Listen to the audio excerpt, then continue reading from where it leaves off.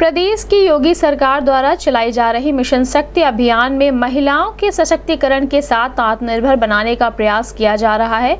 वहीं जनपद में ठेकेदारी के लिए अब काफ़ी महिलाएँ भी आवेदन पत्र जमा कर रही हैं, जिसके लिए एडीएम सिटी कार्यालय में आए चरित्र प्रमाण पत्र की जाँच के दौरान जब एडीएम फाइनेंस और प्रभारी एडीएम सिटी राजेश कुमार सिंह ने आवेदनकर्ता महिला के मोबाइल नंबर पर बात की तो उनका मोबाइल नंबर या तो उनके पति या पुत्र या भाई ने रिसीव किया।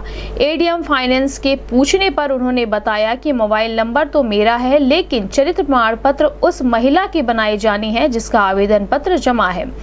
गौरतलब है कि जहाँ सरकार मिशन शक्ति अभियान के तहत महिलाओं को आत्मनिर्भर और उनका अधिकार देने के लिए जी तोड़ प्रयास कर रही है, वहीं महिलाओं के परिवार वाले ही उन्हें आगे बढ़ने पर रोक लगा रहे हैं और उनके नाम से फ़ायदा उठाने का काम कर रहे हैं।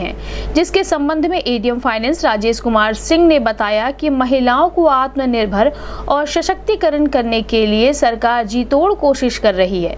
इसलिए महिलाओं के चरित्र प्रमाण पत्र की जाँच के दौरान ऐसे तथ्य सामने आए, जिसमें पता चला कि महिलाओं को जानकारी ही नहीं है कि उनके नाम से ठेकेदारी के लिए आवेदन भी किया गया है।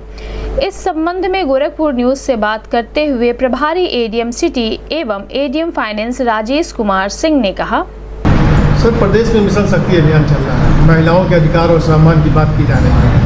लेकिन देखा जाए कि हर क्षेत्र में जहाँ ग्राम पंचायतों में हमारा महिलाओं का अधिकार दिया गया और काम उनके प्रतिनिधि के रूप में करते हैं। तो सरकार ने इस पर कठोर आपत्ति भी ज़ाहिर की है। तो ठेकेदारी को लेकर भी कुछ महिलाएँ एप्लीकेशन दी है चरित्र प्रमाण पत्र द्वारा। तो इन महिलाओं के लिए जो भी अभी चरित्र प्रमाण पत्र आपके पास आ रही है तो वेरिफिकेशन में क्या शामिल है? आ, मैं मेरे पास मैं अभी ए डी एम फाइनेंस हूँ और ए डी एम सिटी का चार्ज मेरे पास है। और मैं चरित्र प्रमाण पत्र जारी करने के पहले मैं एक बार उनको मोबाइल पर सत्यापित कर रहा हूँ और मैंने ये पाया कि जिन महिलाओं के नाम से चरित्र प्रमाण पत्र जारी कराया जा रहा है ठेकेदारी के लिए, वस्तुतः उन बेचारों को इसकी जानकारी ही नहीं है। जो मोबाइल नंबर उसमें प्रयोग किए जा रहे हैं, वो उनके परिवार के पुरुषों के हैं। और ये कतई आपत्तिजनक है कि जिनके नाम का आप प्रयोग कर रहे हैं, उस बेचारी को इसका इन्फॉर्मेशन ही ना हो।